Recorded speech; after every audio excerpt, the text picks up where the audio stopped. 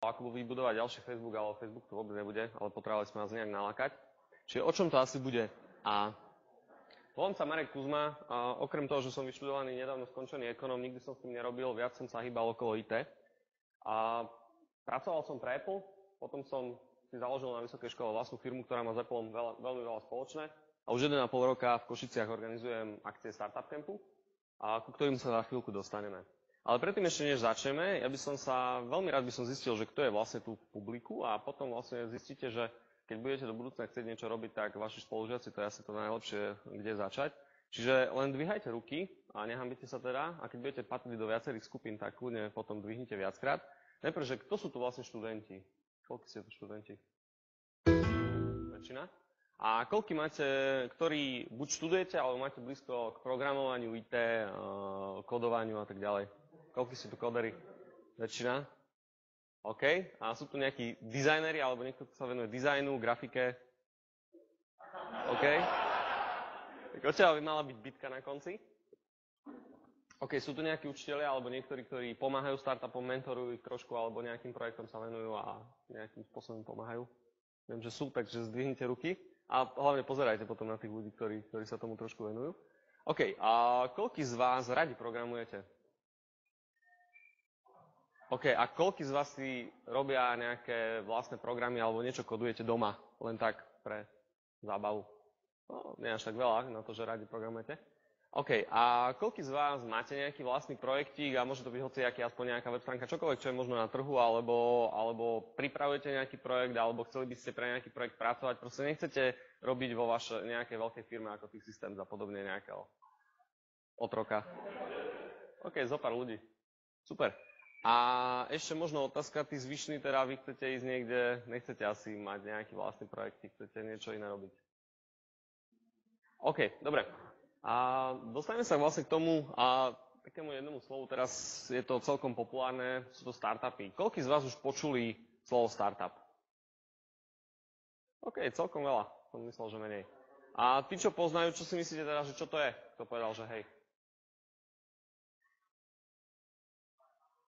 Nemáme nič na rozdávanie, takže... Ešte raz? Mm, OK. A asi každý nedostane venture kapitalistu hneď. A niečo iné? Á, tu sa už bavíme o investíciách priamo. A veľmi stručne, a čo sú asi startupy? Startupy sú nejaké inovatívne projekty a s vysokým rastovým potenciálom. Predpokladám, že lepšie definície si nájdete niekde na webe. A pointa toho je vlastne, že kde si myslíte, že je také najznamejšie miesto na svete, kde vznikajú startupy? OK. A myslíte si, že môžu vznikať startupy aj na Slovensku? Áno? A tí, čo si myslia, že áno, tak uh, keď si založím nejaké potraviny na druhej strane ulice, je to startup?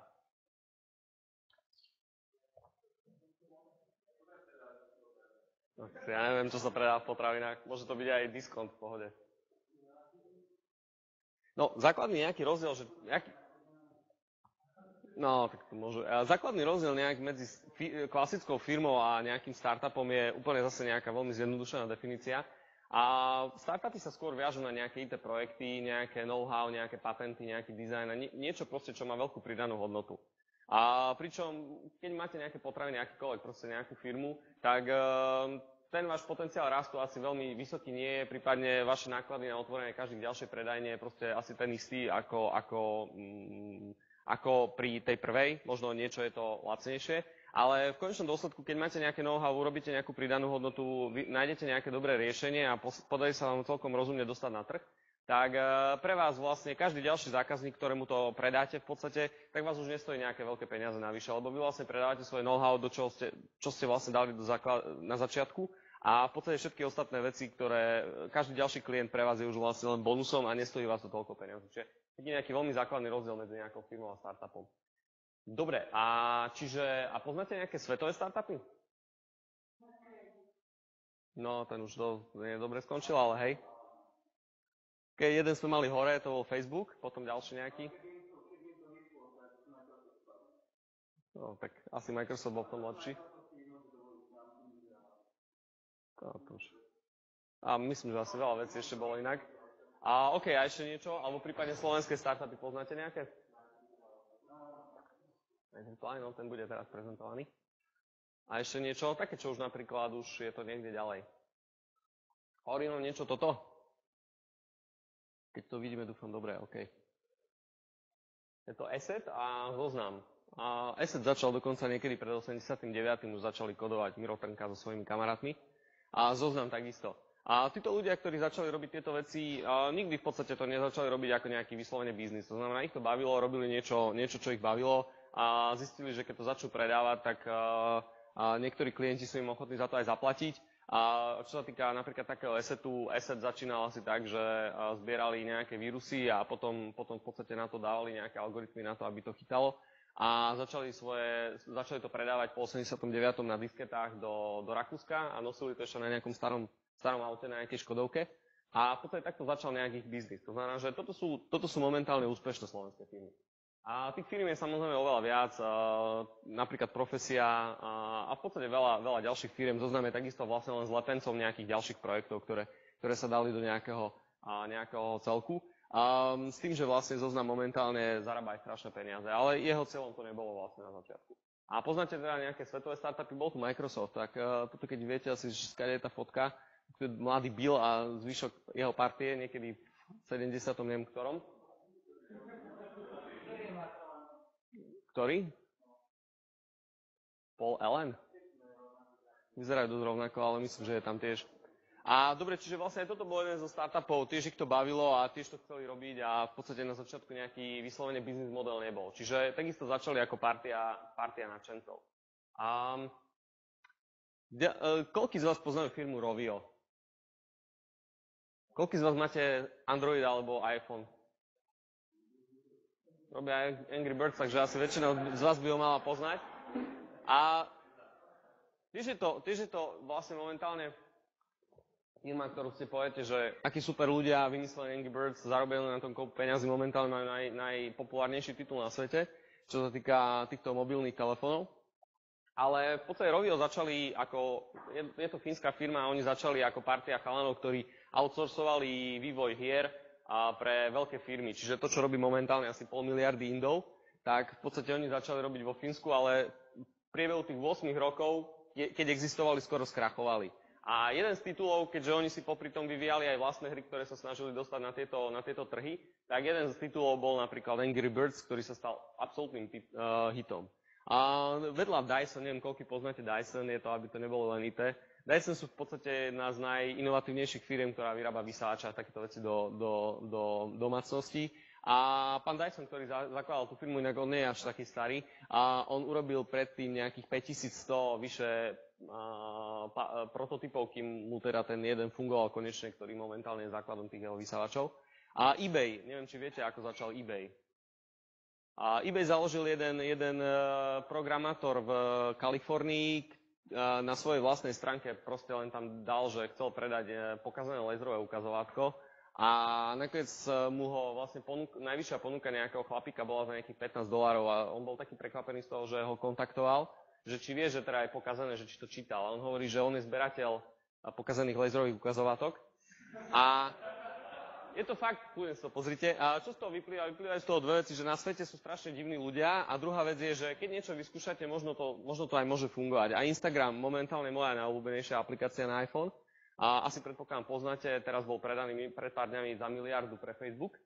A Instagram je Takisto oni začínali ako úplne iný projekt. A postupne sa vlastne to vyvinulo do toho Instagramu. A pointa je zase tá, že e, pri tom, ako vyvíjali ten vlastný produkt, mala to byť nejaká kopia Foursquare, to poznáte tie check-iny na tých telefónoch, tak v podstate sa z toho nejak vyvinul ten Instagram a za tých pár rokov, čo to vyvíjali, už párkrát im bolo e, povedané a odporúčené, že radšej by to mohli prestať robiť a radšej niečo iné, lebo akože to asi nemá veľkú budúcnosť, no a vidíte, teraz to bolo predané. Čiže Dostávame sa k tomu, že akú má vlastne váš nápad hodnotu. Predpokladám, že asi každý z vás má nejaký nápad. Ja sa každý deň zobudzam a idem spať s mnohými. A čo si myslíte, akú má hodnotu váš nápad? Predpokladám, si každý máte. Akú? Vo všeobecnosti. Ktorý si myslíš, že má najvyššiu tvoj?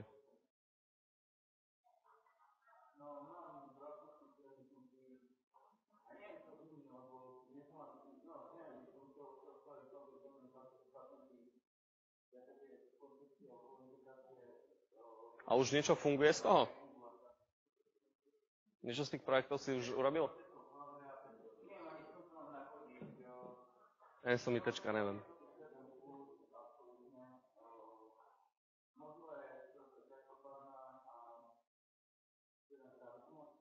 A to sú výhovorky. A, a vlastne cel, cel, celá, celý zmysel toho je, a váš nápad nemá v podstate žiadnu hodnotu, kým ho máte v hlave. Rozdiel medzi tým, že či bude úspešný alebo či nebude úspešný, je práve v tom, že či ho reálne spravíte a ako ho spravíte. A je veľa projektov, ktoré napríklad ja som predtým ukazoval, a takisto Rovio nebolo prvý, prvý nemalý uh, online hru, a, alebo teda hru na mobilné telefóny a Instagram nebola prvá aplikácia, ktorá umožňovala fotiť s tými filtrami a tak ďalej a tak ďalej. Znamená, že váš nápad, kým, kým ho nezrealizujete, nemá žiadnu hodnotu. Keby mal nejakú hodnotu, tak by bola niekde na internete určite burza, na eBay burza nápadov a určite by sa dražili. Čiže váš nápad, ako v podstate pokiaľ ho máte v hlave a ste ho neurobili, nemá žiadnu hodnotu. Mm, to je druhá vec, ktorú my ešte sa dostretávame na tých startup campoch, ktorým sa za chvíľu dostanem, že uh, veľa ľudí k nám príde, že majú nápad a myslia si, že aký to je super projekt a, a že za koľko veľa peniazí to zarobia a tak ďalej. Ale väčšinou, a hlavne sú to ľudia z IT, väčšinou prezentujú technológiu. To znamená, že majú super technológiu, na základe ktorej niečo urobia ale veľa ľudí uh, si to míli práve s tým, že uh, technológia nie, nie je všetko. Technológia nepredáva váš produkt. To znamená, že pokiaľ uh, vy uh, chcete urobiť naozaj, máte nejaký nápad, v prvom rade hľadajte nejaké problémy, ktoré sú vo svete a tých problémov je strašne veľa, čo všetko sa dá vylepšiť. To znamená, že vy pokiaľ nájdete nejaký problém, to už máte polovicu úspechu. A pokiaľ len nájdete riešenie, nielen technológiu, ale riešenie, ako to vlastne ponúknete vašim užívateľom, aby to bolo nejak zmysluplné pre nich, tak to je vlastne riešenie a v podstate v konečnom dôsledku zarobíte na tom. Nezarobíte na tom, že máte technológiu. A my máme veľa prezentácií, kde prídu ITčkári odprezentovať, že ako majú super technológiu na niečo. Ale on to v konečnom dôsledku nerieši nejaký problém, alebo uh, ne, nevedia vlastne nájsť, že kde všade by sa to dalo aplikovať. To znamená, technológia sama o sebe nie, nie, nestojí takisto za veľa, musíte mať super riešenie a vlastne v dnešnej dobe sa predávajú riešenia, nie technológie. OK.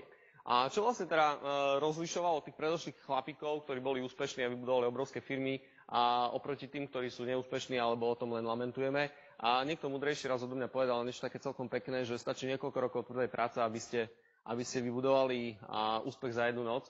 To znamená, že všetky tieto projekty sa nám zdajú, aký super sú a Instagram, väčšina ľudí asi o počula prvýkrát teraz, keď bol za miliardu predaný, ale ono to je, tí ľudia majú možno 15 rokov skúseností programovaním, s grafikou a so všetkým možným a roky vyvíjania a roky tvrdej práce a byť na správnom mieste a nakoniec teraz sa zdá, že aký majú úspech. Ale ako som väčšinou povedal, že väčšina z nás by to asi zdala dosť dávno.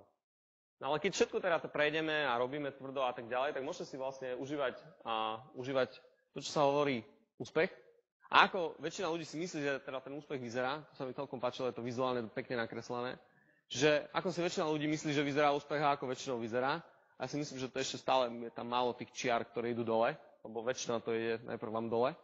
To znamená, že v konečnom dôsledku viete sa dostať, pokiaľ budete tvrdo pracovať za nejaký, nejaký projekt, viete z neho vybudovať celkom niečo zaujímavé, ale pokiaľ ten nápad máte len v hlave a ďalej s ním nepracujete, tak asi ten úspech sa tak skoro nedostaví. Čo je ale dobrá správa. A ja som veľmi rád, že to prezentujem pri ITčkároch, lebo ITčkári asi pridávajú najvyššiu pridanú hodnotu momentálne na svete. Takže ste vo veľmi dobrom biznise do budúcna, ste si dobre vybrali. A čo sa mení? Na to, aby ste si založili, alebo na to, aby ste začali robiť nejaký, e, nejaký um, projekt alebo čokoľvek, a nepotrebujete už teraz veľa vecí. Časy, kedy ste potrebovali na založenie firmy a začatie veľa peňazí a kancelárie, auta, nakúpiť tovar a čo ja viem čo, veľa marketingu, tak, e, tak e, prípadne ešte postaviť továrne, tie časy sú trošku preč. To znamená, že to je brick versus click. Čiže ekonomia založená na tom, že stavate nejaké, do firmy dávate veľa peniazy na to, aby ste ju vôbec vybudovali. A ekonomia založená na tom kliku, to znamená, že na vašej pridanej hodnote. A čo vlastne potrebujete nejaké tajné ingrediencie na to, aby ste začali startup? Sú v základe len niekoľko. Potrebujete počítač, potrebujete nejaký nápad, potrebujete nejakú akože garáž, z ktorej budete pracovať a potrebujete v základe poznať nejakých správnych ľudí, s ktorými budujete ten projekt, lebo sami asi, asi ťažko. To znamená, že v dnešnej dobe naozaj na to nepotrebujete veľa vecí. A kde teda, uh, tu sme si asi povedali, že čo všetko môžeme, asi ten počítač máte, ten nápad asi tiež máte. Um, kde spoznať tých správnych ľudí? Práve to sme takisto riešili. A do, začali sme vlastne organizovať na Slovensku akcie, ktoré sa volajú Startup Camp. A ako to vlastne celé začala tá debata okolo startupov, tak začala asi takto, že začali to vlastne títo dvaja páni. A tí, čo hádate, že pán na tom fialovom pozadí je investor, tak hádate správne, ten pán, sympatický pán. A je to, je to Ďuro, uh, Ďuro Ďuriš, ktorý je z 42 Angels, má celkom úspešnú firmu a respektíve tiež startup, ktorý ktorý on kodil a, a tak ďalej, mal okolo toho výborné story. A druhý je Rado Grežo, ktorý je zakladateľ Startup Campus Bratislavy a oni dvaja sa vlastne pohádali na internete o, o tom, že na Slovensku všetci len lamentujeme o tom, že aké by bolo dobre niečo robiť, ale nič sa nerobí, ľudia sa nestretávajú a tak ďalej a tak ďalej. A vlastne jeden pán povedal druhému, že keď teraz sa stiažuje, že sa nič nerobí, tak začne niečo robiť. A začalo to tak, že sa objednala jedna naša obľúbená, jeden obľúbený bar v Bratislave pre 20 ľudí a keď sme sa po týždni pozreli na Facebook event, že koľko tam máme ľudí, tak tam bolo asi 40 a sme zistili, že musíme si objednať celý bar. Takže asi to má celkom nejaký zmysel. A vlastne na základe toho sa začali robiť akcie, ktoré momentálne vyzerajú asi, tu máte nejaké info k tomu, že kde to nájdete, čiže na Startup Camp a Facebooku a Twitteri a tak ďalej. A ako vyzerajú dnešné Startup Camp akcie? A Startup Camp je vlastne E, sú to vlastne akcie, ktoré, ktorých cieľom je, e, ktorým cieľom je združovať a zoznamovať e, ľudí, ktorí sa chcú venovať vlastným projektom. Neviem, koľký, aká je atmosféra u vás v škole, ale predpokladám, že asi veľa ľudí nie je veľmi na, našavených na to, že budete, budú niečo robiť a prípadne tá podpora z tej, zo strany, že áno, podnikajte, to asi veľmi není, to je trošku iná mentalita. Znamená, že tieto akcie sú práve na to, aby sa združovali ľudia, ktorí niečo chcú robiť a aby mali priestor na prezentáciu vlastných projektov aby mali na, e, priestor na to, že im e, ľudia dajú výbornú spätnú väzbu a na Slovensku máme radi kritiku, takže väčšinou je to kritická, ale je to dobré, lebo, lebo veľa sa na tom poučíte. A je to vlastne aj taký priestor na e, motiváciu a trošku vzdelávanie tých ľudí. To znamená, že áno, je tu nejaká možnosť začať vlastný projekt. A po roku a pol, čo to robíme, to vyzerá asi tak, že v Bratislave a v Košiciach a plus ešte asi v ďalších zopár mestách boli po jednej, dvoch akciách a bolo ich dokopy asi 40, prišlo nám tam niekoľko tisíc ľudí už dokopy. A organizuje sa to každý mesiac v Bratislave, takmer každý mesiac v Košiciach s výnimkou nejakých letných prázdnin. A čo tam môžete nájsť, tak sú to práve tí motivujúci ľudia. Ako keď prídete na takú akciu, tak uh, to nie je o tom, že pozeráte prednášky dobrých ľudí niekde na internete, ale práve, že tí ľudia vám odozdávajú takú výbornú, výbornú náladu, že naozaj všetci sú tam, všetci chcú vybudovať ten ďalší Facebook. A najlepšie je samozrejme, že je to zadarmo a kde najlepšie sa e, porozprávate a spoznáte s dobrými ľuďmi ako pri dobrom pive. To znamená, že naozaj, ale to nie je to bez randy, pri alkohole sa najlepšie navezujú nejaké kontakty. Takže určite treba prísť. A, s kým spolupracujeme, aby to, nebolo, aby to nevyzeralo, že sme len nejaká partia, ktorá chodí vlastne na pivo, tak e, spolupracujeme s celkom dobrými menami. To znamená, že snažíme sa na tieto akcie každý mesiac priniesť nejakých zaujímavých speakerov, či už sú to teda samotné startupy, ktoré môžete pozerať, sú to ľudia ako vy, väčšinou študenti, alebo sú to vlastne potom ľudia, ktorí vám majú k tomu čo poradiť a pomôcť, a ktorými možno by ste sa až tak jednoducho nevedeli stretnúť, a to je napríklad Miro Trnka z ESETu, a je to Maťo Mac e, zo zoznamu momentálne, je prezidentom zoznamu a viceprezident e, Telekomu. Čiže títo ľudia vám takisto vedia veľa pomôcť. Čo sa týka Telekomu, tak oni teraz majú pripravený tiež nejaký projekt pre startupy a vedia vám dať kopec zadarmo priestoru mediálneho a tak ďalej. A ďalšími ľuďmi je to Ivo Štefunko z Neurology, a čo je jeden z mála, mála investorov na Slovensku. A ďalším je Peťo Zábojí z uh, European Entrepreneurship Foundation uh, z Maďarska, ktorý výborne je nakontaktovaný a výborne dáva naozaj spätné väzby a tak ďalej na kontakte ľudí. A ľudia, ktorí sú vám trošku bližšie, tak je to Mišo Truban z WebSupportu a je to Mišo Meško z Martinusu. Sú to vlastne ľudia, ktorí sú, do, e, Mišo, či Mišo už tuším, teda jeden z nich Truban, asi na 30, ale Mišo Meško je ešte do 30. Sú to mladí ľudia, ktorí začali väčšinou svoje projekty robiť do, na škole, dokonca Mišo Meško začal robiť uh, Martinus v 18, čiže mm, alebo v 17, čiže väčšina z vás už je asi starší. A um, zase títo ľudia vám veľmi veľa vedia poradiť. A ako vyzerá teraz startup e, scéna na Slovensku, čo sa vlastne uh, deje? Tak uh, ako sme to začali robiť, tak sa do tomu začali pridávať a nabalovať ďalšie akcie.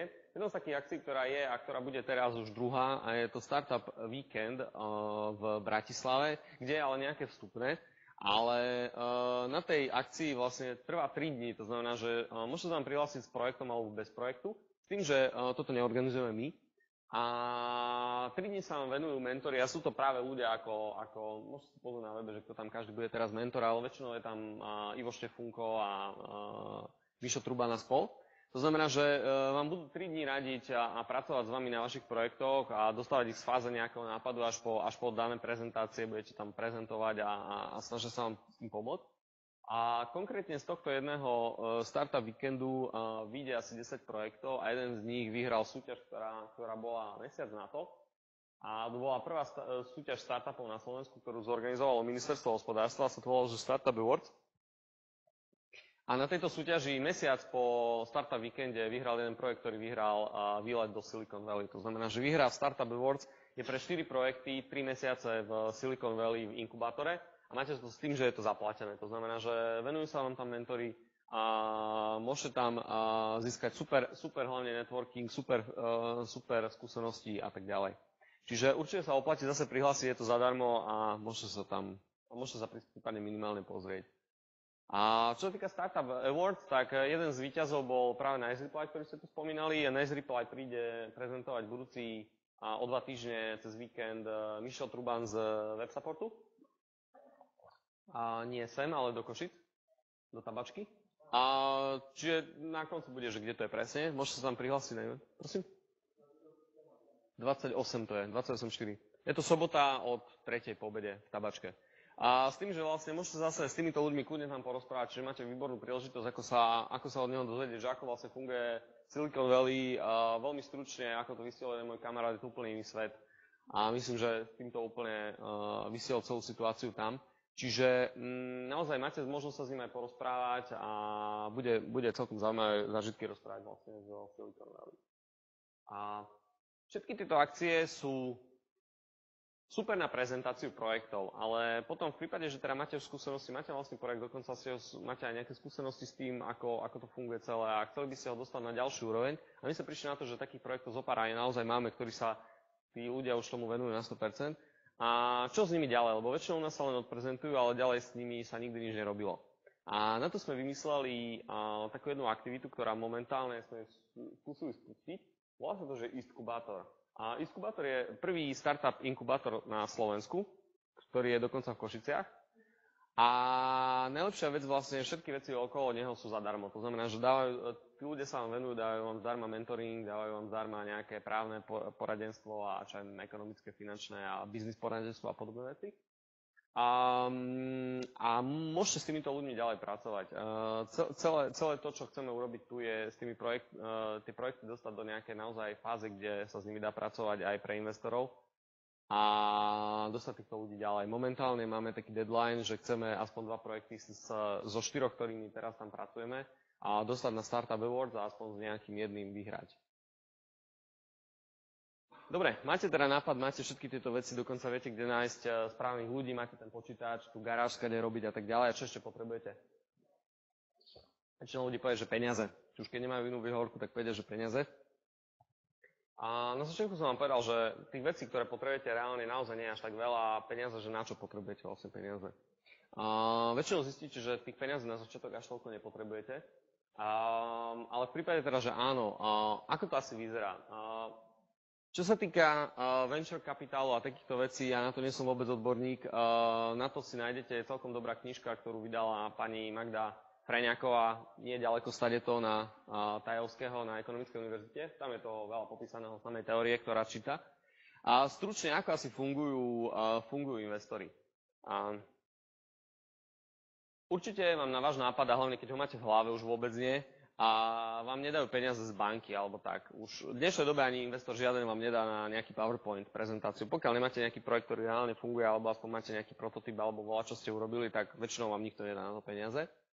Ale teda keď ste sa už rozhodli, že OK, že by ste si zobrali, tak je tam niekoľko fází, ako sa investuje asi do startupov, to si zase nájdete na Google, je toho veľa. Um, neviem, či viete, čo znamená FFF, to je taký prvý, prvý kontakt, na ktorý by ste mali asi, keď chcete peniaze sa obrátiť. FFF sú Friends, Family a Fools. To sú takí akože prví, ktorí do vás investujú a to sú, keď presvedčíte vašich kamarátov, vašu rodinu a bláznov, tak, tak to je vlastne prvý, prvý level, ktorý, ktorý by vám, mohol do vás investovať. To znamená, že najprv skúste túto fázu. Väčšinou zistíte, že ani títo do vás nedajú peniaze. Ale v konečnom dôsledku zistíte, že vždy najlepšie sa vyjednáva, keď už náhodou nezarobíte späť tie peniaze, tak vždy lepšie presvedčíte rodinu, priateľov a možno nejakých bláznov, ako, ako keď budete mať na krku banku, ktorá vám na vás bude dávať exekútorov. Čiže ako, to je celkom dobrý, dobrý nápad. Najprv túto skupinu. To sú tzv. angel investori. Angel investori štandardne na Slovensku sú napríklad uh, 42 Angels, ktorý bol ten Juraj Ďuriš a plus ešte nejaký, um, pokiaľ tuším sa možno zgrupujú, ale veľmi to tu nefunguje. A angel investori štandardne dávajú do projektov niekde okolo pár tisíc eur, 5 tisíc, 10 tisíc, 20 tisíc, do 50 tisíc eur. To znamená, že na začiatku je to, sú to celkom malé sumy, väčšinou keď na to potrebujete, aby vám preklenuli nejaké malé živobytie, aby ste sa mohli venovať tomu startupu, prípadne keď ešte potrebujete do týmu nejakého človeka, ktorý sa vyzná grafika a tak ďalej. Takže aby ste si vedeli tie základné veci zaplatiť, tak, tak na to vlastne fungujú Angel. A potom už keď teda máte, nie ste niekde ďalej, máte za sebou skúsenosti, máte prvých investorov a, a tak ďalej, tak potom prichádzajú venture investori, ktorí zase do vás dávajú niekoľko stoviek tisíc eur až do niekoľkých miliónov, prípadne to sú také veľké peniaze. Existuje ale niekoľko zásad pri tom, že keď už rozmýšľate nad tými peniazmi, zase väčšinou asi nebudete tu pýtať, ale keď by ste chceli. A určite a si nepýtajte peniaze, pokiaľ ich naozaj nepotrebujete. Väčšinou zistíte, že tie peniaze fakt nepotrebujete a veľa vecí viete urobiť bez toho. A druhá vec je, že ako náhle, takisto ako banka vám dá peniaze len vtedy, keď ich nepotrebujete, tak takisto keď vyjednávate s investorom a čím menej potrebujete peniaze, tým máte lepšiu pozíciu na to, aby ste s nimi niečo vyjednali. A ďalšia vec je, že um, ako Ivo Štefunko uh, s obľubou hovorí, uh, ako jeden z mála slovenských investorov, investičných firiem, a prídu za ním ľudia, že by aj chceli peniaze, ale keď sa ich spýtajú, OK, chcete investíciu a koľko? A na to väčšinou je odpoveď, viete, to je taká otázka tak eh, keď neviete, koľko potrebujete, tak ako chcete pýtať peniaze. Čiže potrebujete vedieť, že koľko a na čo potrebujete minúť. Čiže to je dosť dôležité, na Slovensku málo kto o tom rozmýšľa. A ďalšia vec je teda, pýtajte najprv od FFF, to je asi najlepšie. A ďalšia vec je, keď eh, aj sháňate možno nejakého mentora, alebo nejak, ako ďalej s vašim projektom. A hovorí sa tomu, že take smart money. A vždy, keď beriete niekoho e, partnera do biznisu, či je to investor alebo je to ktokoľvek, niekto, kto vám pridá nejakú pridanú hodnotu. To znamená, že keď berete aj nejakého investora, neberte niekoho, kto má len voľné peniaze a chce to do niečoho šupnúť, ale berte niekoho, kto vám reálne funguje v danom biznise, v danej, rozumie sa danej napríklad technológii, vie vám s tým reálne pomôcť, má dobré kontakty, ktoré vás vedia v danej sfére posunúť a tak ďalej. Čiže a určite uh, berte si niekoho, kto vám môže k tomu niečo, niečo bližšie povedať. A ďalšia vec je, um, a práve takíto investori, ktorí investujú, ako fungujú vlastne venture investori alebo angel investori, väčšinou majú portfólio firiem. To znamená, štatisticky nejak to vychádza tak, že a väčšinou z desiatich firiem, do ktorých dávajú peniaze, takých sedem vôbec neprežije. Také dve možno prežívajú, ale zarábajú možno tak sami na seba. A jedna investícia väčšinou im vyjde, ktorá zaplatí všetky tie ostatné. To znamená, že preto si robia portfólio. Štandardne na Slovensku, uh, alebo teda štandardne, keď máte neskúseného investora alebo niekoho jedného človeka, ktorý dá do jedného, dvoch projektov, tak uh, očakáva, že teda ten projekt neskrachuje, lebo, lebo chcel by odvať tie peniaze späť. A, a tým pádom uh, ľudia, keď sú menej skúsení, tak sa snažia tým, uh, mať väčšiu kontrolu nad tými firmami a kúpiť 51% a viac, čo je ale uh, dosť uh, chybné,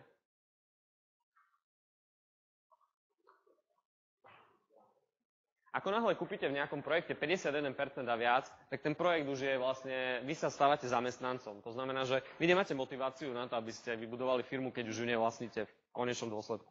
Znamená, že určite si nechávajte, a na to sú práve tie stage, tie úrovne, ako sa investuje do firiem a žiadna väčšinou na, základ, na začiatku nepresiahne 30%, lebo ako náhle vás niekto kúpi, tak ste zamestnancom a už vás to nebaví budovať si nejakú firmu a robíte toľko, koľko vám povedia, aby ste urobili.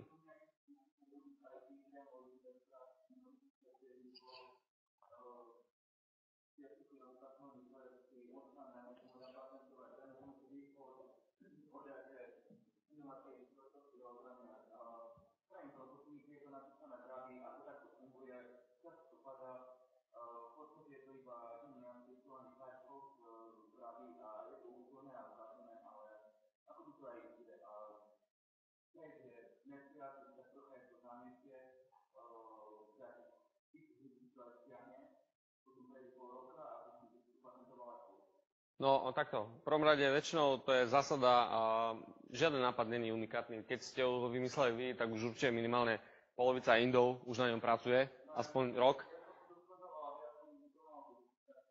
Áno, ako fakt to poviem, akože žiaden projekt není že vyslovene unikátny. Druhá vec je, že čo je nápad a čo je vlastne riešenie.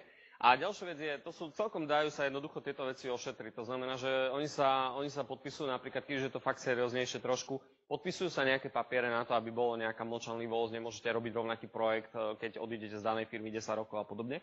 Ale ďalšia vec je, že um, pri týchto väčšinou to funguje tak, že stane sa, môžete priznať niekoho, naozaj niekoho, kto má v úmysle vás okradnúť vopred.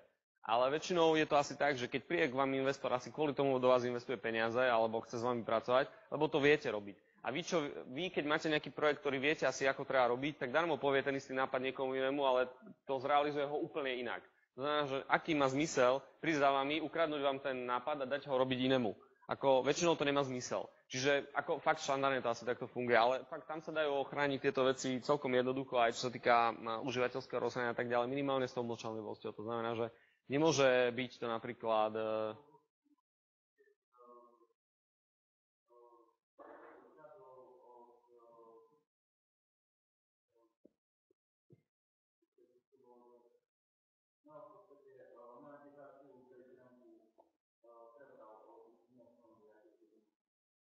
Zase na druhej strane neviem ani, ako to presne funguje. A konkrétne napríklad Yahoo kúpilo jednu firmu, jeden, jeden maďarský startup, ktorý je celkom dobrým ako príkladom toho, toho, že Index Tools. A Index Tools je vlastne analytika na web, predtým, než existoval Google Analytics. A kúpil to za dosť veľa peňazí Yahoo a kto používa Yahoo Analytics, ja neviem, či viete, že existuje. No. Takže asi tak, hej. Um, málo čo je niečo unikátne, na druhej strane, keď máte, tak môžete to vždy predať do väčšej firmy a tak ďalej. Tak ťažko povedať, ako s tými peržankami, neviem vám k tomu bližšie.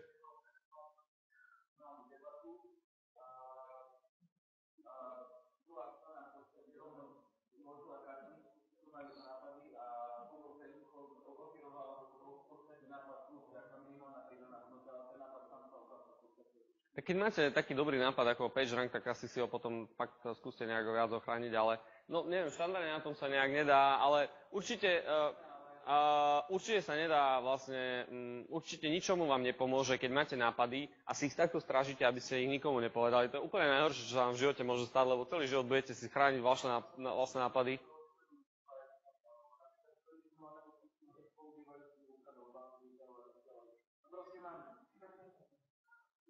si treba asi zamknúť, no.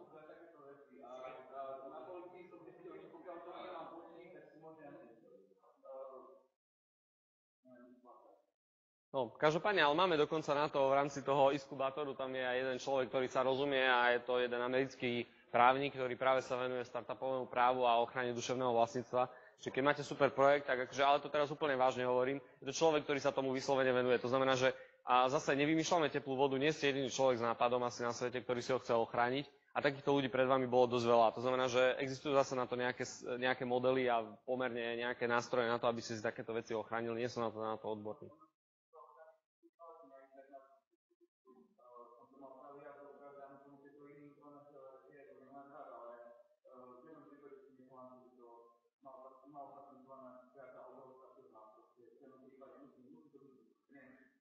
Ako to sa dostávame do Docs Eskremov, ja neviem, ako vôbec funguje, úprimne povedané, patentovanie nejakého užívateľského rozhrania. Nie je to také vôbec jednoduché, ako si to niekedy myslíme, čiže a, treba tam sa potom zase...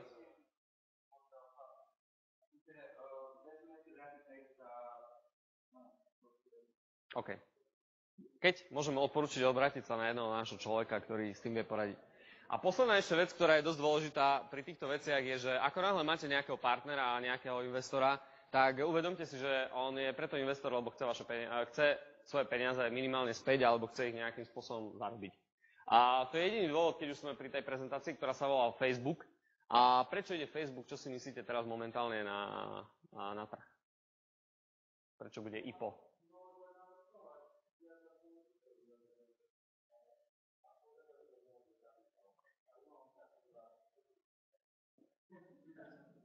A to si ne, ne, nebojte sa, oni to vedia kúpiť aj bez toho.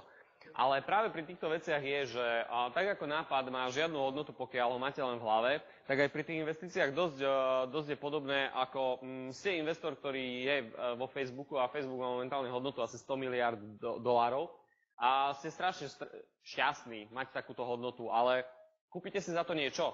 Nič.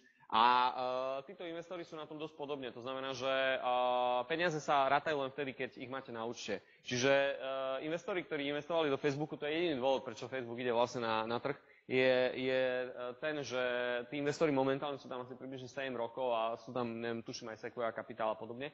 A oni tie peniaze chcú späť. To znamená, že každý investor sa snaží z vás časom dostať nejaké peniaze. To znamená, že a nikto ku vám ako investor nestupuje preto, aby s vami budoval do konca svojho života firmu, ale vždy, keď si berete niekoho takto do firmy, je to o tom, že skôr či neskôr ten človek alebo tá firma od, od vás odíde a chce za, cez peňažiť nejaký podiel.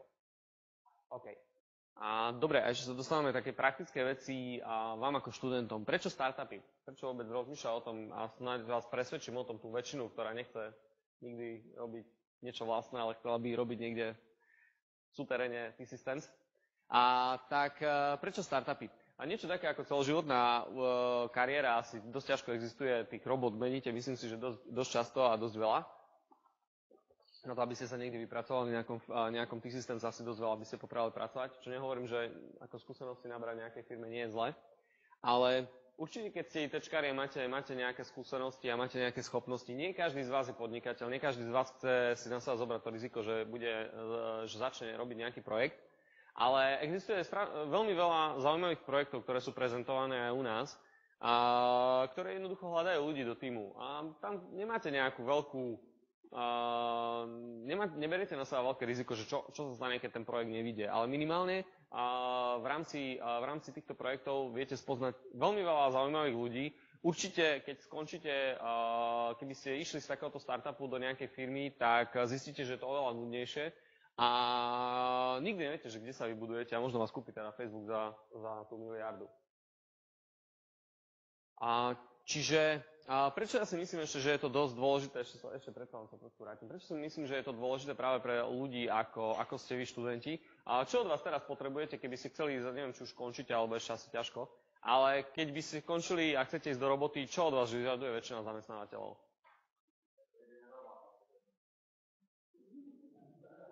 No podľa toho, aký zamestnávateľ?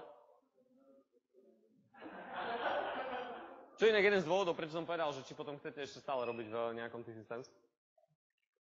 Väčšinou asi chcú od vás najlepšie 20 rokov skúsenosti a do 25 rokov, aby ste mali. A čiže a práve to je, že ako získate skúsenosti. V dnešnej dobe získať skúsenosti alebo ísť do nejakej firmy bez skúsenosti je úprimne povedané prečo, keď máte na trhu ďalších ľudí, ktorí majú fakt skúsenosti a nemajú prácu. A čiže keď si môžete vyberať, tak si vyberete radšej z, ľuďmi, e, z ľudí, ktorí majú skúsenosti. A práve takéto startupy, ja si myslím, že keď robíte nejaké projekty, a či už sú to napríklad projekty, ktoré fakt si robíte, len chodíte doma, na, na, niekde na kolene a, to, a na tom fakt veľmi veľa vecí sa môžete poučiť. Či už vyviniete nejakú apku do Androidu a skúsite to predať a zistíte, že ako sa vôbec to predáva a zistíte, že to vám nebude predávať tak, eh, tak veľmi veľa skúseností dokážete na tomto získať. Určite, keď budete písať alebo posielať niekde váš životopis, tak eh, keď tam máte napísané, že ste brigadovali v Tesku pri, a, pri, a, pri pokladni, nič proti pokladničkám, ale a, asi to nie je až také niečo zaujímavé pre, hlavne pre vašu IT sféru, ako keď napíšete, že ste robili na nejakom možno projekte, ktorý bol možno úspešný, možno neúspešný, prípadne ste sa, mali ste mentoring od nejakého Mira Trnku z ESETu a možno čo, čo keď sa z toho projektu aj niečo stane. To znamená, že práve teraz máte podľa šancu, že keď budete robiť nejaké dobrovoľné projekty alebo prípadne idete do nejakých startupov, kde fakt hľadajú tých ľudí, tak máte kopu príležitosti na to, aby ste získali nejaké, nejaké skúsenosti. Tak dúfam, že teda trošku bolo to pre vás aj praktické. Čo som sa vlastne základne dozvedel, ja si dúfam, že viete už teraz približne, čo sú startupy. Že asi to nie, nie sú tie potraviny naproti že prečo je celkom dobré začať teraz si robiť nejaký projekt, že na to nepotrebujete až tak veľa peňazí. A, a viete asi, aké ingrediencie na to potrebujete, viete asi, kde spoznať dobrých ľudí. Určite, čo vám odporúčam, využite rôzne, rôzne, uh, rôzne eventy a akcie, uh, ktoré sa momentálne robia, či už sú to na Slovensku, ako je Startup Award a tak ďalej, alebo Startup Camp, alebo sú to rôzne akcelerátory uh, v Strednej Európe a kto vie, kde všade ešte na svete, čo nie je také ťažké sa tam dostať. A keď chcete teda nejakého investora, tak určite uh, nie, niekoho, kto vám vie pomôcť a určite um, začnite, kým nemáte čo strátiť. On sa hovorí, že kedy v živote môže, kedy človek začína v živote podnikať, že je to fakt len vtedy, keď nemá čo strátiť a je to vtedy, keď, keď je, končí školu, to znamená, že nemá čo stratiť a vtedy, keď už končí svoju kariéru a tiež nemá čo stratiť. To znamená, že asi v týchto dvoch len časoch, lebo inak okrem toho budete mať kopu iných výhovoriek. A, a čo vám teda môžem ako, ako prvú vec, ktorú by ste mohli možno urobiť, je skúste sa prísť pozrieť, keď budete mať sobotu 28. čas do tabačky od 3.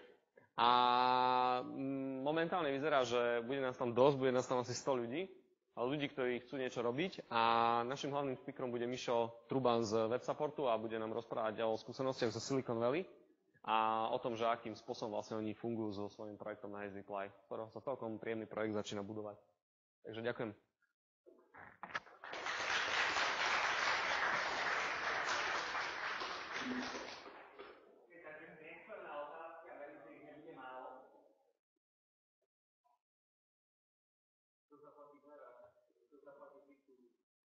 Akú garáž a akú pizzu?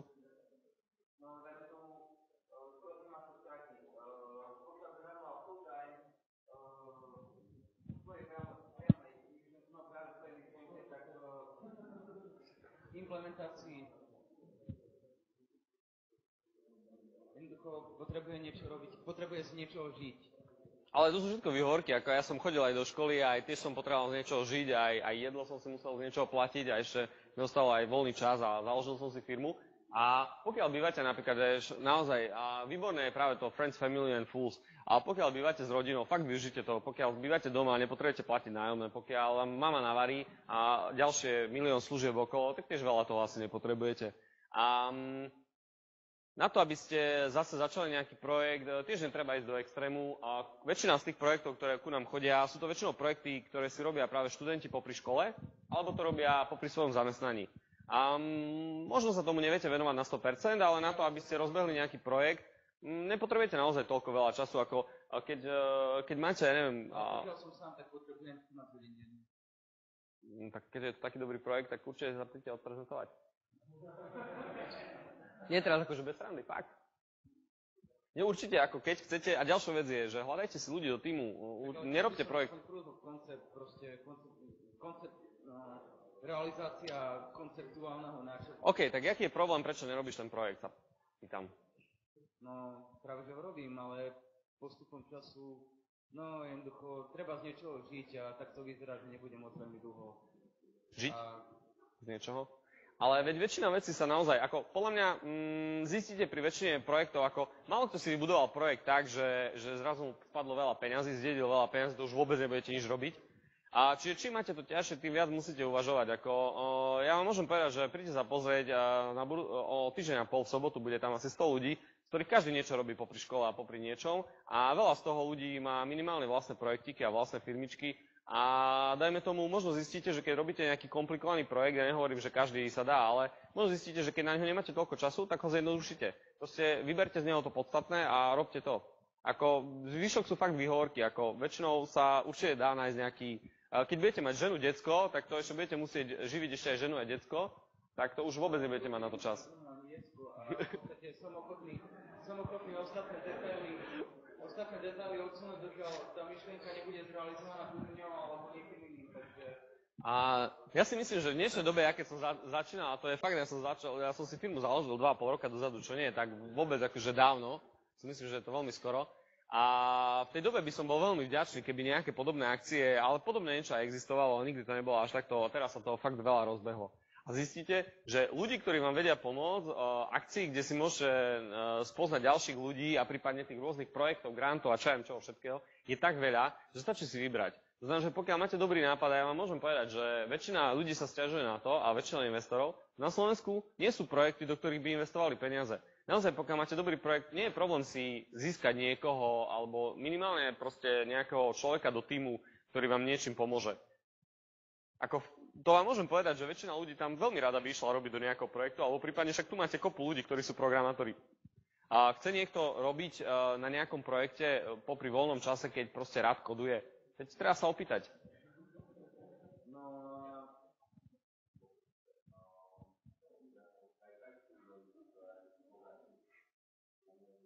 Coworking? A nerobím to ja, akože mal by som sa tam tiež prísť ukázať.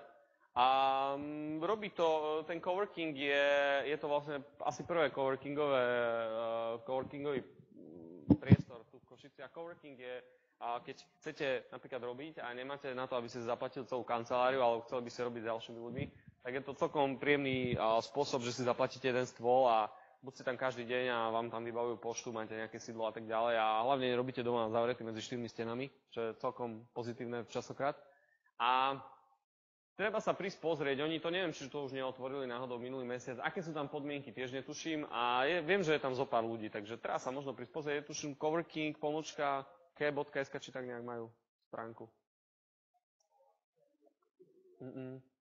Treba sa prispôsobiť, ako nerobím to ja, robí to, robí to Darina Cimpaková, to je jedna grafička košická. A je to jej akože taká iniciatíva, čo ja to maximálne podporujem a viem, že je tam priestor asi pre 10 ľudí. Uvidíme, že či taký koncept sa už živí tu na, v Košiciach, ešte to nebolo odskúšané, čiže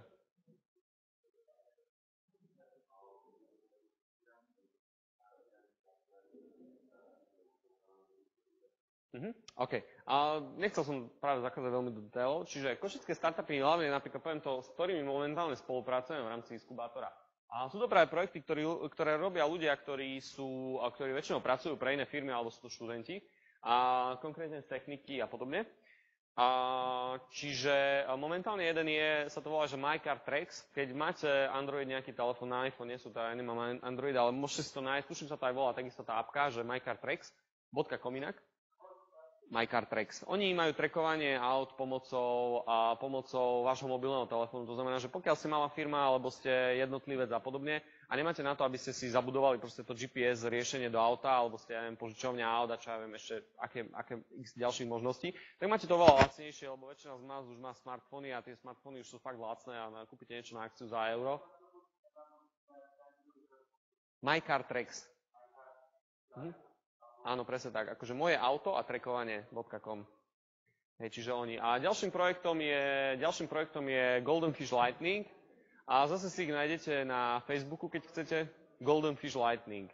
Oni majú, a sú to chalani z umelej inteligencie na fejke a oni tam riešia mm, inteligentné osvetlenie na ovládanie cez, proste sa to zvučí veľa vecí. Je to ako veľmi zaujímavý projekt a hlavne má veľký úspech pri, na všetkých tých startup súťažiach a dosť sa o nich zaujímajú investori, majú už aj prvý prototyp, ktorý funguje. Čiže to je druhý projekt. Treba sa na nich obrátiť. Nie, ono to je vlastne o tom, že keď poznáte, neviem, či pozná niekto Nest. To je taký inteligentný termostat. To je také celkom nest.com taký inteligentný termostat a ono vlastne podľa toho, že ak si to nastavujete, sa o toho vás učí veľa vecí, to znamená, že nejaké algoritmy, ktoré tam fungujú. Ale pointa je, že ono to nefunguje v tom hardveri, lebo inteligentné osvetlenie existuje, to, ako je to dosť veľký biznis na svete. A len väčšinou to je dosť komplikované, keď si to chcete zainštalovať do domu, je to drahé a tak ďalej. Je to cez server, áno, beží to niekde proste na pozadí a, a tak ďalej a tak ďalej. Čiže vy si kúpite len nejakú takovinu domov, nejaký vypínač, ktorý vysiela všetky tie vaše údaje, ktoré potrebuje, niekde na server, kde bežia nejaké algoritmy, ktoré nejak skrustia a potom vám tomu dajú nejaký výstup a sa o vás niečo naučia. Robí to automatické updaty a tak ďalej. Malo by robiť. Čiže to je druhý projekt. A, a ďalší projekt, ktorý bol, ale to nebolo v rámci tohto, bol uh, projekt, práve to ešte možno motivačné, bol to projekt 17-18 ročných ľudí z uh, Poštovej, to volal, že Curaprox Ace, oni si našli, že zubná kevka s pastou, je to vlastne design, on to nebolo technológia, a našli si celkom príjemného partnera a našli si ho nakoniec ako v Curaproxe s šťastia, ale hlavne pracovali na tom 4 mesiace tvrdo. A s tým projektom vyhrali súťaž na Slovensku aj v Osle a momentálne Curaprox pre nich začne vyrábať to v niekoľko, proste no, to chcú dostať na tak ten projekt, to znamená, že máte v zubnej kevke pastu. Je to super, keď, to, keď cestujete, no si do toho natlačíte a oni to práve, že Curaprox asi vie, kde to chce marketovať, oni to chcú marketovať pre rôzne hotely a letecké spoločnosti a takéto veci. A oni to normálne začali už produkciu. To znamená, že je to ďalší projekt a sú to fakt 17 a 18 roční ľudia. A okrem toho, že im to zarobí dosť veľa peňazí. A myslíš ako? No, veď len to je o tom, že oni na tom 4 mesiace pracovali, aby to dostali a presvedčali Curaprox, aby, aby sa o nich zaujímal, aj keď s troškou šťastia potom sa dostali... No to bol ale hlavne dobrý projekt vypracovaný aj s rôznymi prototypmi minimálne vo fáze nejakého dizajnu a takýchto ďalších vecí. Prosím? No to oni nerobili nie až takto. To nepotrebujete na to 3D zase model. To potrebujete mať dobrý nápad, ktorý dokážete dobre predať. Oni proste prišli za nimi ako dobrým riešením. A, a čo ešte z toho sa dostalo len posledná ešte vec, že minimálne oni tí ľudia si to dali do svojho životopisu a momentálne, keďže sú tu stredoškoláci, ktorí išli na vysoké školy, tak ich prijali ani jedného na slovenskú školu, všetci išli niekde inde. A jeden tuším vo Fínsku, ďalší je tuším neviem kde a tak ďalej, jeden do Írska. Čiže vlastne zase, máte projekt, prosím? Nie na dizajn, akože to nemá s tým nič spoločné, ale je to, je to máte v, myslím, že ekonómiu, biznis a takéto veci. To znamená, že máte, máte, uh, máte niečo do svojho životopisu, ktoré je zaujímavejšie, ako že ste niekde robili.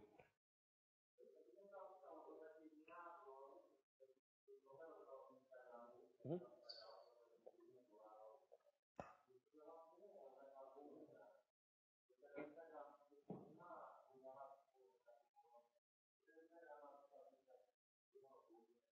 Trošku viac. Teraz, keď majú ten Android, majú asi 50, tuším.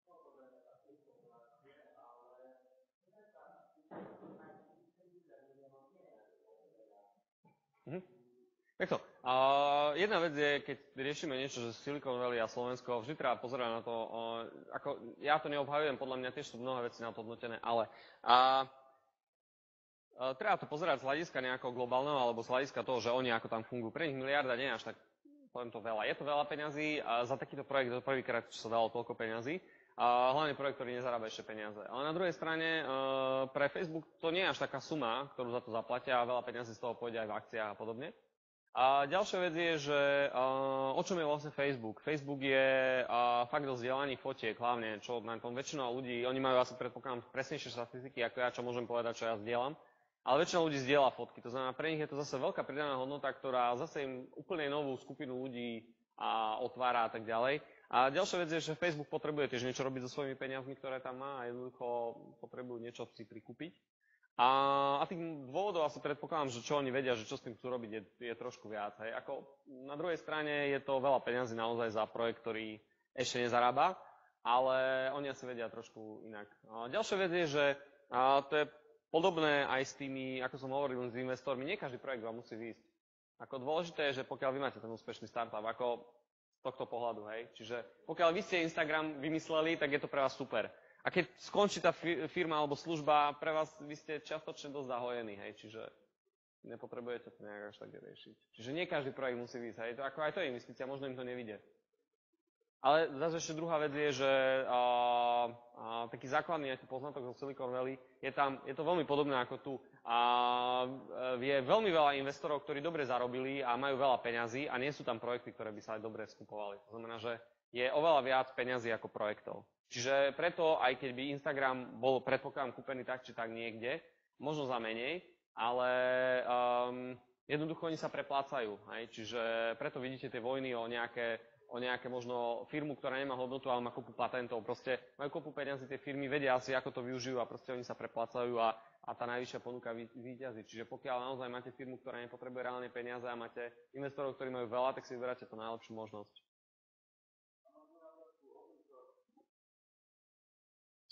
A čo s ním?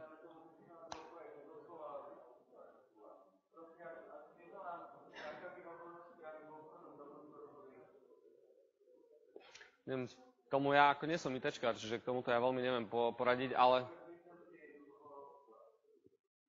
Určite, keď ti môžem poradiť je a vždy, keď akýkoľvek, ktokoľvek z vás má nejaký nápad, skúste to dať nejak na papier, skúste ho nejak rozumne a to je práve to riešenie. Hľadajte skôr problém, ktorý je na svete, nie, nie ako, to je fakt dobré odporúčanie. Ja som urobil kopu projektov, ktoré a kopu chýb teda, ktoré boli projekty, ale oni nemali možno reálny nejaký, neriešili nejaký reálny problém. To znamená, že nájdete nejaký problém na svete, to je super vec, to už máte polovicu úspechu. A potom hľadajte na to nejakú aplikáciu. Nepríďte s tým, že máte super technológiu, ktorú chcete robiť tak, tak, tak a zistíte, že ju ale nemá kto používať.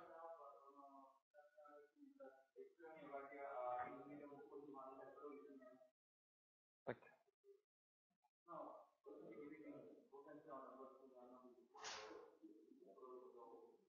No to treba robiť. Ešte niekto?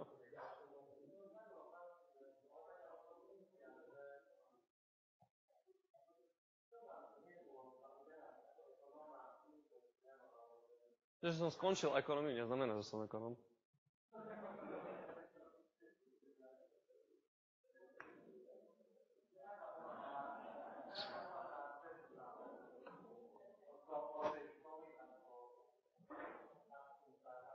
Môžem odpovedať osobnejšie?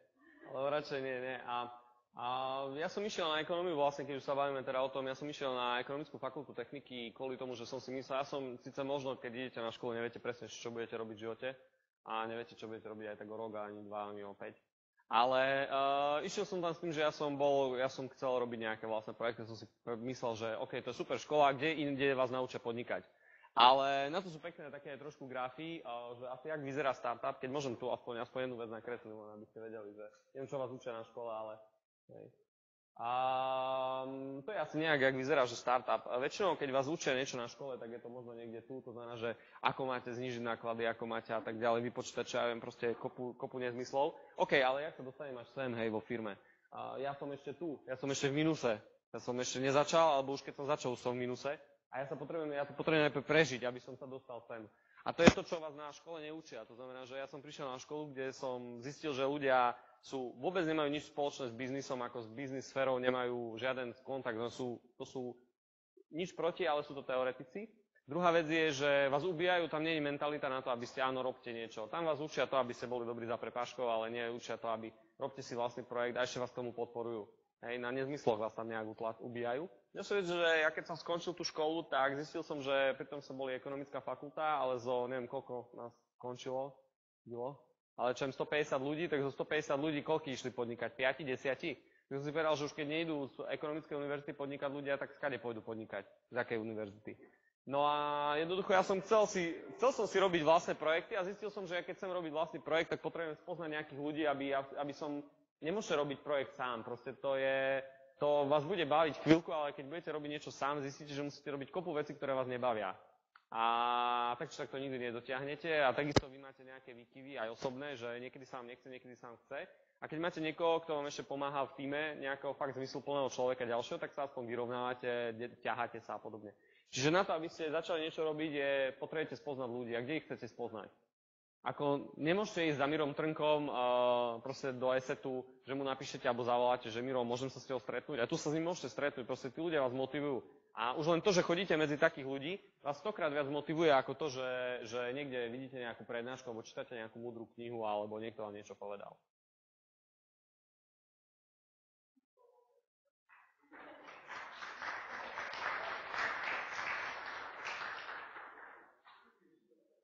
Uh-huh.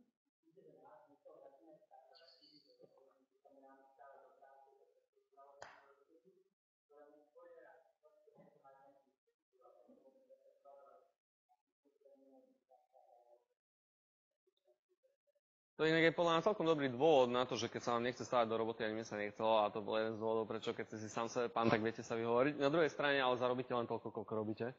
Čiže to je tá druhá potom nevýhoda, že potom sa vám už bude chcieť stávať, alebo budete musieť. A čiže ono to má vždy, všetko má svoje pre a proti, ale každopádne ja som robil aj, a ja som si myslel, že ja budem pracovať e, v, vo výbornej firme Apple a nakoniec som zistil, že je to takisto byrokratická firma ako všetky ostatné. To znamená, že vypracovať sa niekde to je dlho trvá a vás ubijajú šéfovia, podšefovia, asistenti a neviem kto každý. To znamená, že je to o vás, že čo by ste chceli robiť. Ale každopádne, keď aj vy nechcete začať svoj vlastný projekt, ale máte aj nejaký nápad, prípadne chcete sa pridať do nejakého ďalšieho projektu. Tých projektov alebo tých ľudí, ktorí majú nápady a ktorých dokonca aj realizujú, je strašne veľa. Čiže vy sa vždy môžete pridať do nejakého projektu, keď ešte si nemyslíte, že by ste vy sa so svojím projektom niekde vedeli dostať. A je určite jednoduchšie pracovať e, v malom týme, pokiaľ napríklad, neviem, začínate nejaký projekt, tak predpokladám, že programátor tam bude asi jeden, možno dvaja. A je možno jeden grafik a možno ešte niekto, kto má nejaký, neviem, proste väčšinou budete dvaja, traja, štyria, piati ľudia. A s takými ľuďmi sa oveľa ľahšie komunikuje, ako keď komunikujete s niekým, kto máte šéfa, podšefa, hierarchiu vo firme a čo čo. A len nemusíte stať zase očakávať priamo výplatu, no ale tak to je s tým spojené trošku. Ale zase neberete na sa riziko. Ďalšia vec je, že startup a firma je trošku rozdiel v tom, že startup nemusí, alebo povedzme, že projekt, nemusí mať nejakú právnu subjektivitu. Vy nemusíte mať proste rovno si zakladať firmu na to, aby ste si niečo urobili. Keď máte nejaký projektík, tak fakt ho urobte, urobte ho to najjednoduchšie, čo dokážete urobiť a dajte to na trh, uvidíte, možno vám to skrachuje za týždeň, vám to na to nikto nepríde, ale možno zistíte, že vám to fakt príde kopa ľudí, hej. Na každé aké voloviny teraz chodí kopa ľudí. Čiže Um, fakt naozaj môžete zistiť, že, že ono vám to ide a potom už riešite to, že áno, potrebujeme ešte k tomu takého človeka, takého. Len väčšinou je to o tom, že naozaj e, odhodlajte sa začať. Ako podľa mňa nie je lepšia doba na, na to, aby ste začali robiť niečo. Web support, napríklad Mišo Truba, oni to začali robiť, uh, potrebovali tušiť nejaké server, alebo čo, on, on vie lepšie tú story. Oni to začali na intrakoch robiť uh, web stránky a kúpili nejaký server na intraky a podobne. A popri tom stíhali ešte kopu aj uh, užívací aj intrakový život, Mišo to stíha doteraz. A Uh, ako oni extra veľa toho nemenili, ale napríklad okrem toho, že na intrakoch 99% väčšinou času, čo robili je ich spolubývajúci, tak oni to robili možno 80% a zvyšok aspoň 20% venovali tomu, že kúpili nejaké servery a zistili, že majú proste kopu klientov a robia im stránky a, a, a ďalšie veci. Čiže nejakým spôsobom začali už na tej, stred, na, na tej vysokej a, a to dokonca nebývali doma, že si potrebovali za ten intrak platiť, potrebovali si platiť aj za to ubytko, potrebovali si niečo možno na seba občas vyprať Takže mali ešte to ešte o to horšie, že keď bývate doma, je to jednoduchšie. Spýtaj sa Miša, no. Príde budúci týždeň, neviem, či mu to platili rodičia. OK.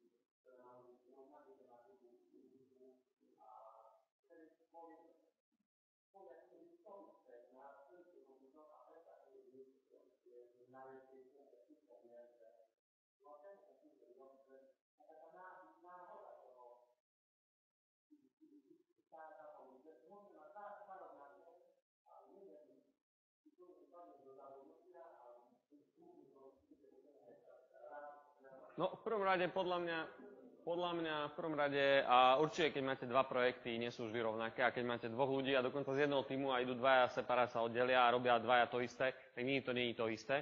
A treba mám k tomu aj dávku šťastia, ale napríklad presne o tom som hovoril na začiatku. Dokonca podľa mňa ešte kopec hier, neviem, ne, som to, ale možno ešte kopec hier takých podobných bolo dokonca od Rovia. Možno Rovia urobil 8 rokov takú istú hru a sa im to nepodarilo. A po 8 rokoch im pre nich prišla dobrá platforma, ktorá bola nová, hej, lebo v podstate iOS boli koľko rokov, sú pár rokov na, na trhu. To znamená, že darmo robia niečo možno v Java. Koľko ľudí si predtým stiahovalo vôbec hry?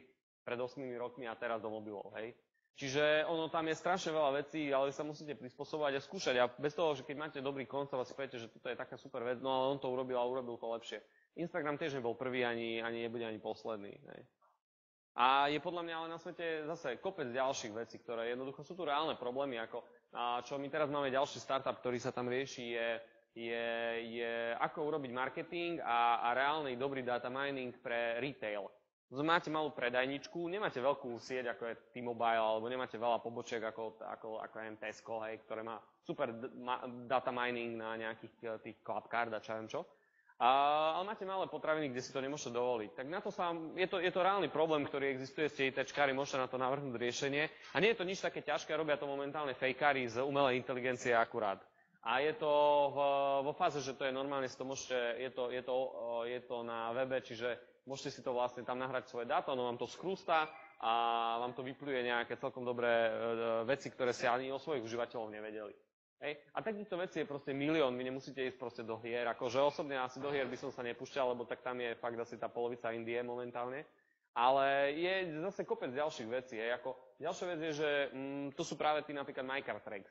A to je ďalší výborný projekt v tom, že um, zistili, alebo teda v podstate zistili. No to zistili sme všetci skoro každý už má smartfón, tak prečo, keď má ten smartfón v podstate stokrát viac čidiel ako, ako nejaký GPS, proste príjmač, ktorý si namontujete do auta, a už aj tie príjmače v mobiloch sú celkom fajn, tak e, pre 90% ľudí možno nepotrebujete mať tak, tak podrobné veci namontované v aute, alebo máte nejakú malú firmu, ktorá možno ten GPS príjmač v aute a máte pizzerku a tie auta, keď vidím, tak asi GPS príjmač má väčšiu hodnotu ako auto. tak nebudete to do toho montovať. A oni zistili, že keďže máte všetci smartfóny za euro, tak na akýkoľvek Android si môžete stiahnuť apku a vám to funguje a zaplatíte za to mesačne možno 5 dolárov, alebo 5 eur, alebo hoci koľko. Hej, čiže zase je to jednoduchá vec, ktorá rieši bežný problém a zistili akorát to, že všetci nosíme iPhony alebo smartfóny, tak proste poďme urobiť niečo pre toto. Hm, ktorý teraz? Ten retail, oni sa volajú, tuším 7 segments, ale neviem, ako sa presne volá tento konkrétny. Ale zase tí ľudia chodia pravidelne, je to Jožo Kovač, ktorý spolu pracuje aj na týchto kempoch.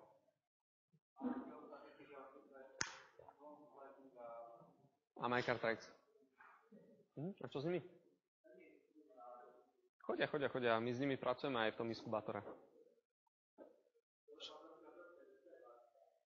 Môj startup? Ja z obľubou hovorím, že nemám startup, ja mám firmu. A keď som začal, tak ja som vlastne uh, niečo takéto som tu vôbec neriešil. A čo ja momentálne riešim, ja mám vlastne vlastnú firmu, ktorá sa volá Innocent a je to veľmi úzko spojené s Apple. To znamená, že uh, len sú to produkty. A čo sa týka toho, um, aj na tom môžete urobiť veľa vecí a to je práve to, že my momentálne so všetkými týmito našimi produktami ideme do Spojených štátov. To znamená, že skúsime aj iné trhy. To je jedna vec. A čo je nejaký taký môj startup? E, ja momentálne pracujem na týchto troch, spolupracujem s nimi, čiže mm, možno nejakým časom sa do nejakého viac, ale sa to rozbieha, to znamená, že ale za nami chodia neustále nejakí ľudia s nejakými nápadmi, možno, možno sa budem venovať na 100% nejakému časom. A konkrétne môžem povedať príklad, ako z tohto pohľadu by som to možno nejak extra si neplánoval takto vopred. Keď sa raz rozhodnete, že idete do tejto komunity, je to super prvé rozhodnutie, ale možno si nemusíte plánovať, že či budete, kde budete o 5 rokov. A dobrým príkladom je vlastne Nice Reply, ktorý momentálne šéfom toho nie je vlastne Mišo Truban. Mišo Truban v podstate momentálne je ako keby len investor a človek, ktorý to v rámci firmy má. Ale mm, vlastne šéfom momentálne je Matej Vtáčnik, ktorý to dostal na prvýkrát na odprezentovanie Startup Award v novembri minulého roka. Momentálne on, už to je jeho projekt, ktorému sa venuje 100%. Bo 90, lebo ešte má ďalších asi x vecí v Bratislave. Čiže um, takisto vlastne za ním, nazvem to, to, to tohto pohľadu o, veľmi zjednodušene, prišiel niekto k tomu ponúkol, či nechce to urobiť. A obidvaja budú rásť, pretože niekto, kto s tým nevedel dva roky pohnúť, s tým nájsť nikde a niekto za pol roka dokáže z neho vybudovať tak, že momentálne idú za investormi pýtať niekoľkých stoviek tisíc eurách eh, investíciu. A ten projekt podľa toho, čo robia, má takú hodnotu aj viac. Čiže nikdy neviete, kde sa dostanete. Čiže Môžete si pozrieť na webe. Hm? Nie, nie, nie, sú to, sú to hardwareové veci. To znamená, že sú to rôzne doplnky, ktoré buď vyrábame priamo na Slovensku, je to slovenský dizajn, alebo spolupracujeme s nejakými dizajnerskými štúdiami. Ja ako vec, ktorú ja riešim, je IT a design, čiže ja nie som ITčkár, ako neviem robiť IT, ako tak, nie som programátor. Aj na Slovensku, aj nie na Slovensku, aj tedy, tedy. Vyrába sa to ešte v Singapure, ale Singapur nie je Čína, Singapur je trošku inde na tom. Uh, čo je trošku dosť drahšie, ale je to, je to dosť kvalitnejšie. Ale vyrába sa to aj na Slovensku. Hm? No, no, no, no, jasne, tašky a podobne. A čo sme vlastne zistili, a to je ďalšia vec, um, akýkoľvek projekt robíte, IT má super tú výhodu, že vás nestojí nič dostať váš projekt niekde do zahraničia. A u nás je to trošku problém, ale nie je to až taký veľký problém. A len tam na tom treba viac popracovať. A každopádne, čo som sa dozvedel vlastne, alebo čo je taký nejaký poznatok základný z tých, e, z tých Spojených štátov je ten, že, že naozaj myslíte o vašich projektoch globálne. Fakt, keď máte IT projekt, proste choďte s tým, sa snažte ho dostať aj na nejaké iné trhy. Nemáte dôvod, a ako náhle vám niečo funguje v biznise, nám táto časť biznisu funguje. Horšie, lepšie možno. A, ale proste my momentálne, čo ideme urobiť, je funkčnú časť nášho biznisu, ideme dostať na čo najviac možných druhov trhov. Či je to Slovensko bolo niečo, čo na začiatku sme vyskúšali, ale to môže byť hoci čo aj vy robíte. Čiže ako v tomto by som nejaké videl dosť veľa paralel, to nie, nie je to až také odlišné. A keď sa v tom poučíte, že vyberete naozaj z toho, zistíte, že my po dvoch rokoch, čo to robíme, sme zistili, čo nám funguje, čo nám nefunguje a Myslím, že ešte toho zistíme dosť veľa. A, ale to, čo vám funguje, jednoducho choďte s tým na ďalšie trhy. To znamená, že vy keď urobíte nejaký projekt, ktorý má multi, neviem koľko ďalších funkcionalít, ale zistíte, že ono 90% zákazníkov využíva jednu, tak to preložte do zahraničného jazyka a proste choďte s tým do Ameriky, choďte s tým do, na, do Európy a, a tak ďalej.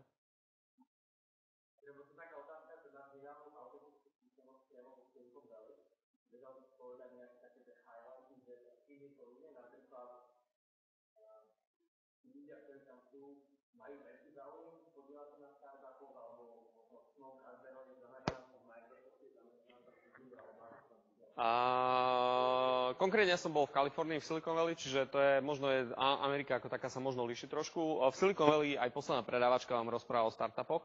Je to trošku tak, akože úplne iná mentalita. Základný rozdiel, ktorý je, je tam fakt asi tá atmosféra. To znamená, keď tam prídete a, a fakt s kým sa stretnete, tak ľudia sa vám snažia vás tlačiť, že áno, choď proste robiť to, čo ťa baví, choď robiť to, čo jednoducho si myslíš, že by, že by si mal robiť, choď za svojím nápadom, choď podnikať a tak ďalej. Zistíte, že vlastne tí ľudia sú neuveriteľne hrdí na to, čo tam robia. A či je to, a to, to je naozaj to je taká atmosféra, nemusíte ani podnikať a môžete byť nejaký, nejaký policajt, ale ste hrdí na to, že ste policajt, na to, že ste smetia, na to, že robíte neviem kde.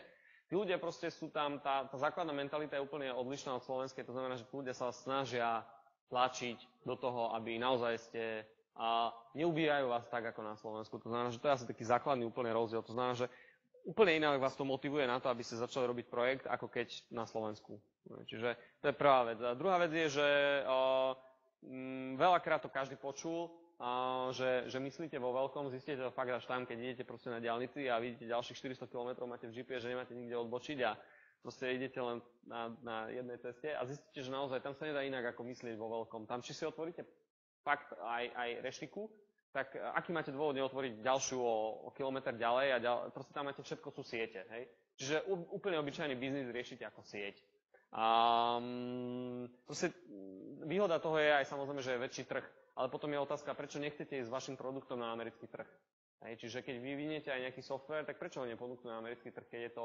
Máte možno na začiatku zo Slovenska trošku komplikácie, ale mm, máme ľudí, ktorí s tým vedia pomôcť a my teraz takisto to riešime, že ako sa tam dostať a nie je to až také komplikované, ako by sme si možno mysleli. Hej. Stojí vás to možno pár stovek dolárov, ale máte úplne iné možnosti, ako keď... E, príkladom je napríklad ESET. Hej. ESET má v, na Slovensku asi neviem, možno 80% podiel, zarába nejaké peniaze a v Amerike majú fakt možno nejaké promile oni sa tam ani nejak veľmi nemarketujú, ani, ani celkovo tam má Kaspersky a čo aj AGV a, alebo, alebo jak sa volajú tieto firmy a, a takéto podobné. A veľký trh, čo sa týka antivíru, antivírov, ale samotných pár promile v Amerike im robí oveľa viac ako na Slovensku celý trh. Čiže uh, a ich to vlastne, oni to majú tam úplne pasívne, to znamená ponúkli ten produkt tam a nejak sa šíri. Hej. Nemajú tak ako tu obchodných zástupcov a ďalších vecí. To znamená, že Mm, nie som si istý, ja čo som počul čísla, aspoň čo som sa bavil s niektorými ľuďmi, tak nie je to tak veľa. Každopádne je to veľmi málo, hej, ale to im generuje oveľa, oveľa, oveľa viac peniazy ako Slovensko. Kde majú proste...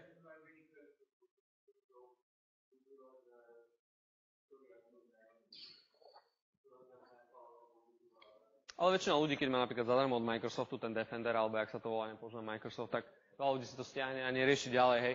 Go, berte, že väčšina ľudí nie sú nejakí tečkári, väčšina ľudí je obyčajný užívateľ, ktorý si otvorí laptop a keď mu tam volá, čo beží, tak OK, keď mu tam vybehne 45 okien s, výstraž, s nejakým výkričníkom, tak povedal, že nejaký problém, ale to, aby hľadal, že ktoré má najlepšiu proste nejakú porovnávanie v nejakých štatistikách na um, úspešnosti, tiež to asi nerieši tam veľa ľudí v Amerike. No, takže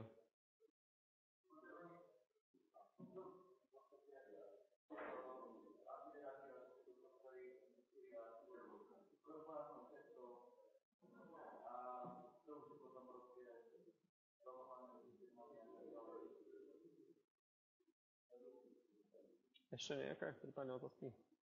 Ja keď sa vidím veľa druhákov a spolužiakov, že práve také obdobie, kde rozmýšľajú nad tým, že ísť na brigádu do nejakej IT firmy, hľadať ten job, čo je to taký svoj názor, že je to správna cesta, alebo možno by mal určitú smernicu, nejaké vlastné nápady a tak. Ako podľa mňa, keď získaš skúsenosti v akékoľvek sfére, keď si začnete napríklad fakt, máme programátora, ktorý programuje si okrem toho, že momentálne, a to je výborný príklad, je to človek, ktorý študuje na vysokej škole na fejke, a okrem toho si, a okrem toho si a momentálne vybavil brigádu a nebolo to ani také ťažké v Twitteri priamo v San Francisku. Akurát má okolo toho dosť veľa tých papierovačiek na to, aby si tam vybavil na viac ako 3 mesiace. Nie je to také jednoduché do štátov, ale a trvalo mu to to, že im napísal trikrát mail a potom mu odpísali, že OK.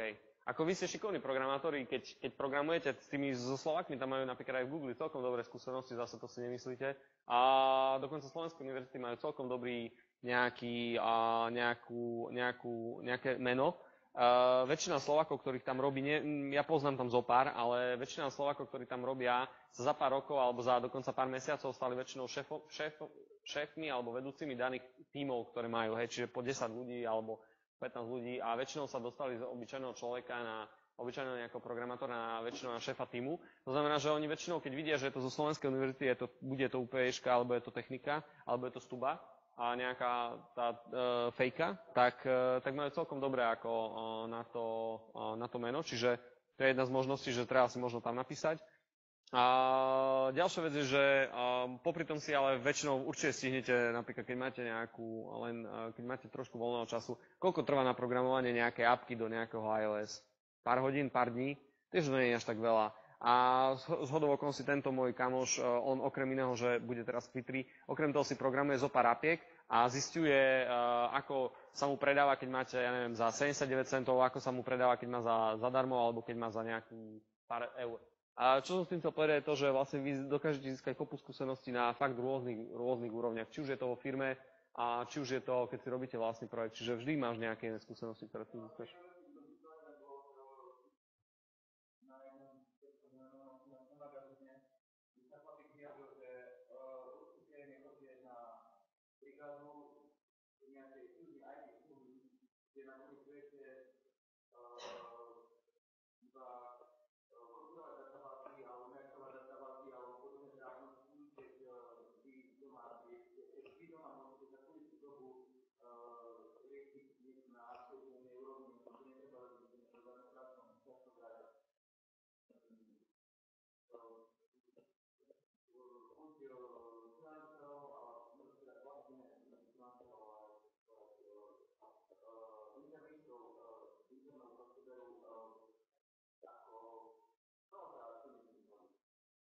No tak to ja ešte chcem. A myslím, že to rozprávam trošku pred inou, inou sálou ľudí, ako napríklad... Predpokladám, že pokiaľ ste fakt dobrí programátori, tak alebo grafici, alebo čokoľvek, nemáte problém si v dnešnej dobe nájsť akúkoľvek robotu. Ako... A môžem povedať, že keď príjete fakt na camp, tak väčšina projektov tam niekoho hľadá. A sú to dokonca aj firmy. Dokonca veľa ľudí tam chodí priamo preto, aby si našli zamestnancov. To znamená, že pokiaľ ste ITčkár a viete sa predať, viete, ste v niečom dobrý a povedzte, že v čom ste dobrý a čo viete najlepšie robiť, tak podľa mňa nemáte problém si v dnešnej dobe nájsť robotu. Či budete robiť na diálku pre nejakú buď slovenskú alebo zahraničnú firmu, alebo či niekde pôjdete brigadovať. Podľa mňa akože toto je trošku iná sála ľudí, ako keby sme to riešili niekde, ja neviem, proste, kde fakt sa nevedia zamestnať nejakej sociálnej práci, hej a podľa mňa ako ITčkárov je to super, super job, ja nepoznám nezamestnaného ITčkára. Hej.